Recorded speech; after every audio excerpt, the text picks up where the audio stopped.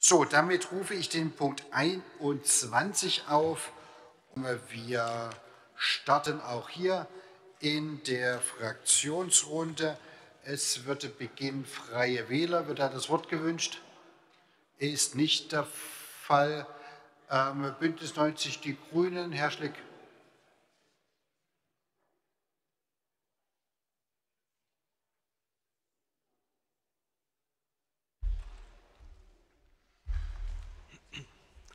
Ja, sehr geehrter Oberbürgermeister, sehr geehrte Kolleginnen und Kollegen.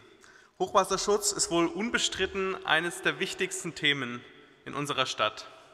2002, 2013, die Bilder haben wir alle noch im Kopf.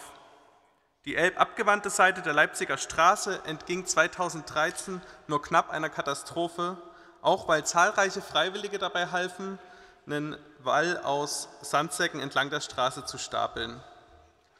Und aus hydrologischer Sicht müsste eigentlich auch genau dort die Schutzanlage entlang führen. Schön parallel zum Flusslauf, ohne große ähm, Ausbuchtungen, mit viel Retentionsfläche auf der Elbseite.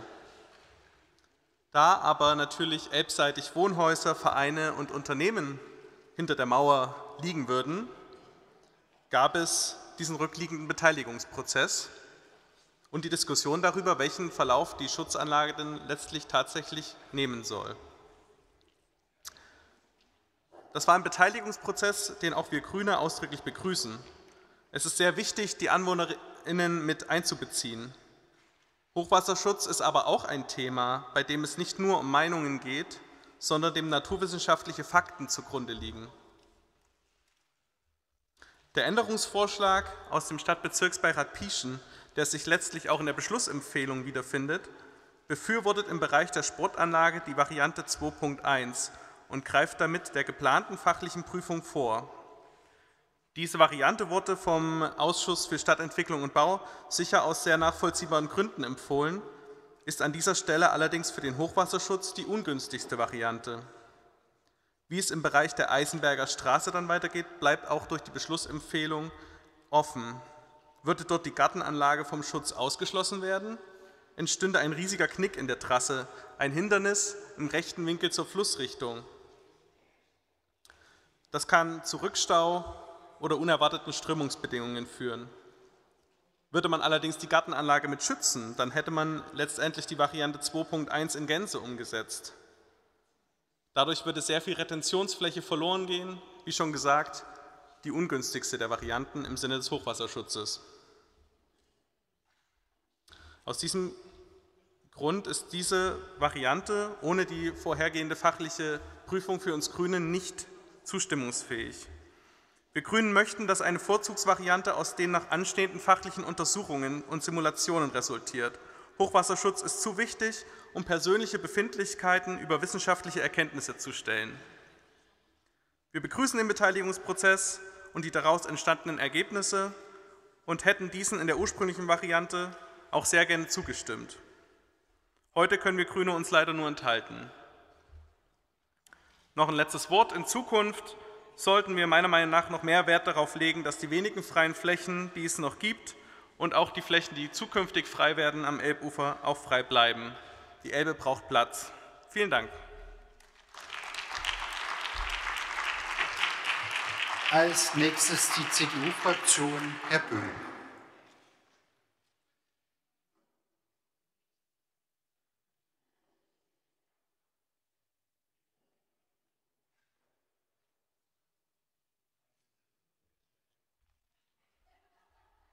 Sehr geehrter Oberbürgermeister, liebe Kolleginnen und Kollegen, vielleicht mal zum erstes Wort an die Grünen.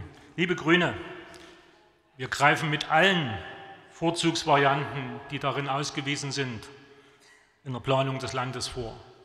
Es war eben nur an einer Stelle, waren mehrere Varianten. So, die Hochwasserereignisse 2022 2013 haben deutlich gemacht, wie wichtig Hochwasserschutzmaßnahmen sind. In vielen Bereichen entlang der Elbe und zufließenden Bächen sind in den letzten Jahren Hochwasserschutzmaßnahmen vorgenommen worden. Neben Laubegast, der Übigauer Insel, ist der Bereich zwischen Marienbrücke und Pieschner Winkel immer noch ungeschützt. Der Kollege hat es vorhin schon gesagt, viele können sich sicherlich noch an die riesigen Sandsackwelle auf der Leipziger Straße beim letzten Hochwasser 2013 erinnern. Diese waren relativ ungeplant durch die Bürgerschaft und Helfer gebaut worden und wären im Nachhinein in dieser Massivität sicher nicht an jeder Stelle erforderlich gewesen. Das zeigt aber, wie wichtig den Bürgern das Thema Hochwasserschutz in diesem Bereich ist. Mit dem Bau von Hafen City, dem Sanierungsgebiet Pieschen und weiteren geplanten Bebauungen entlang der Leipziger Straße hat sich zwischenzeitlich das aktuelle und zukünftige Schadenspotenzial in diesem Bereich erheblich vergrößert. Von der Verwaltung wurde daher ein umfangreicher Beteiligungsprozess initiiert, um die Belange von Betroffenen frühzeitig zu berücksichtigen. Wie bereits dargelegt wurde, wurden dabei Vorzugsvarianten für die einzelnen Abschnitte in den Beteiligungsprozess eingebracht. Wir hatten frühzeitig gemeinsam mit dem Sportverein Rotation darauf hingewiesen, dass wir die Vorzugsplanung von Hochwasserschutzanlagen mitten durch die Sportanlage von Rotation nicht für zustimmungsfähig halten. Im Beteiligungsprozess wurden diese Bedenken durch Rotation verstärkt vorgetragen. Leider fanden oder finden sich die vorgetragenen Bedenken im Ergebnis des Beteiligungsprozesses und der nun vorliegenden Vorlage nicht wieder, sondern es soll nach der Vorlage weiterhin im Bereich der Sportanlage mit mehreren Varianten und mitten durch die Sportanlage weiter geplant werden. Unter anderem unsere Mitglieder im Stadtbezirksbeirat Pieschen haben deshalb eine Änderung eingebracht, dass im Bereich der Sportanlage mit einer älteren Variante 2.1, sie wurde sie schon genannt, weiter geplant werden soll.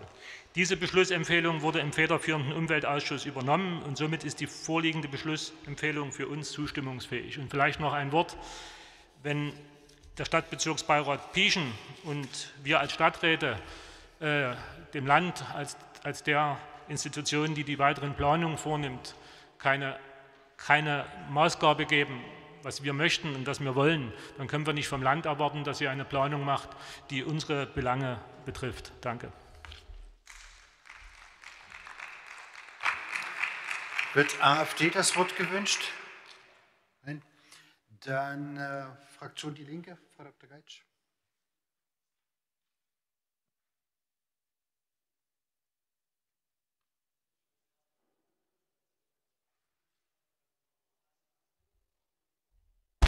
Sehr geehrter Herr Oberbürgermeister, liebe Damen und Herren Stadträtinnen und Stadträte, liebe Menschen am Livestream. Ich mache es nur ganz kurz heute.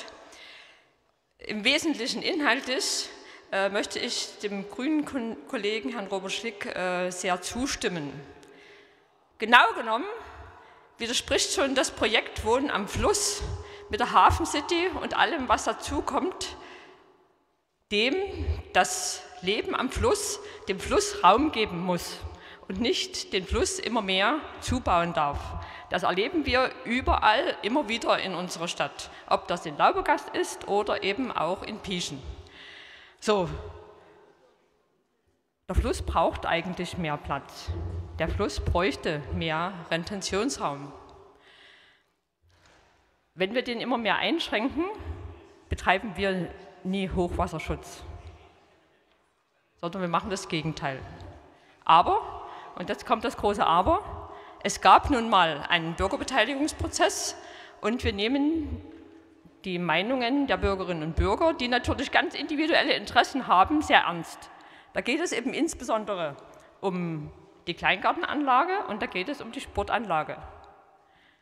Wir favorisieren diese Variante 2.1 nicht. Wir sagen aber, es geht in einen weiteren Untersuchungsprozess. Dort muss wirtschaftlich nochmal abgewogen werden, wo Interessen der Stadt im Sinne der Wirtschaftlichkeit, wo Interessen des Flusses dem mehr Raum gegeben werden muss, um nicht an anderer Stelle noch mehr Überflutung zu provozieren und wo den Interessen der Bürgerinnen und Bürger tatsächlich entsprochen werden kann. Wir werden deshalb diesem jetzt vorhandenen Kompromiss, ist ja noch nicht entschieden, äh, zustimmen, damit, wie der Herr Bürgermeister schon richtig gesagt hat, dort endlich weitergearbeitet äh, werden kann, zustimmen. Dankeschön. Als nächstes die SPD-Fraktion, Herr Engel.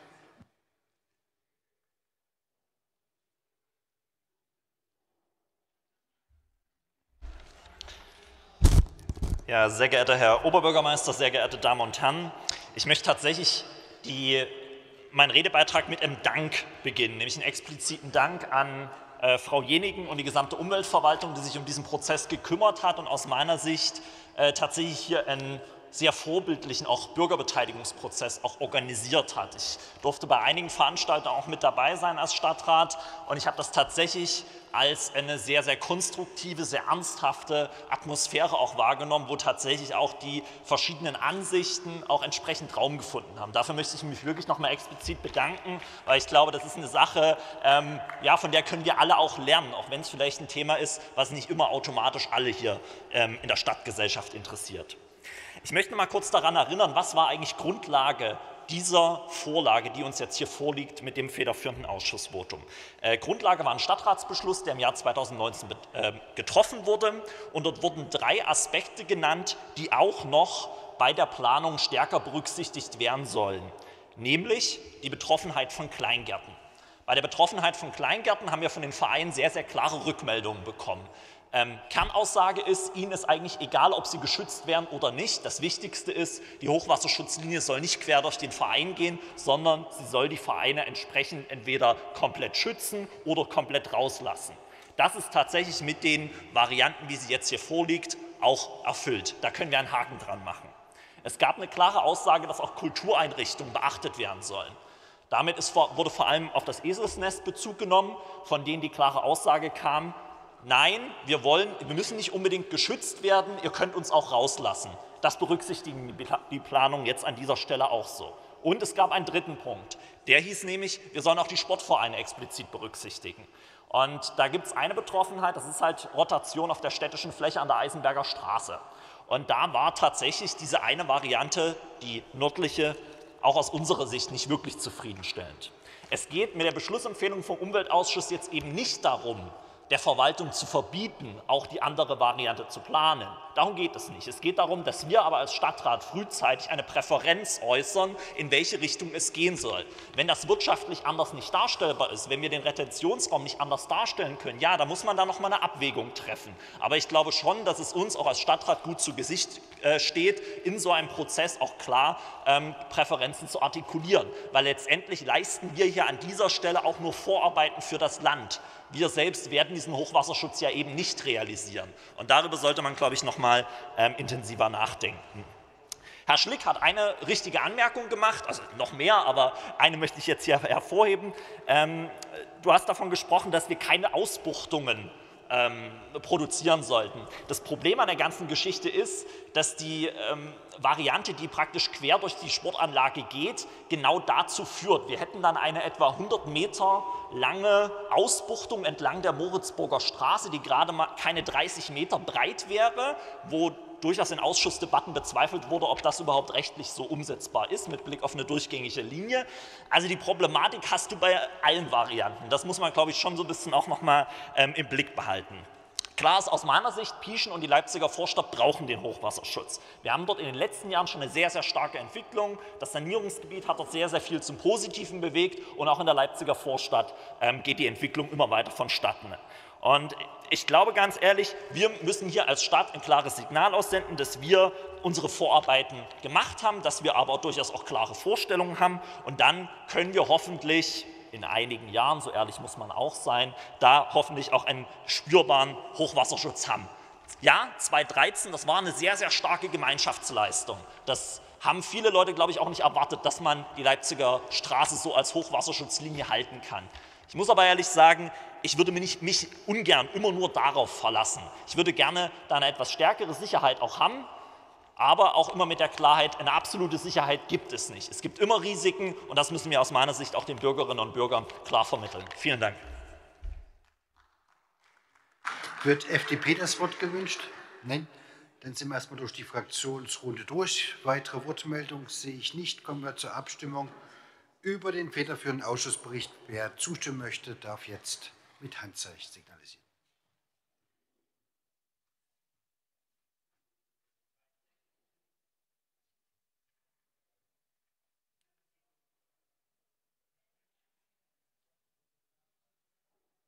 Gegenstimmen?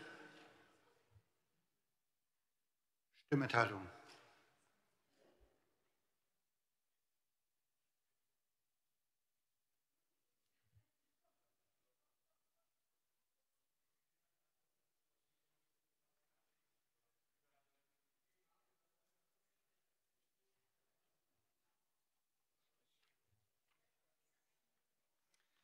Neunundvierzig Ja, keine Nein, 14 Enthaltungen, damit angenommen.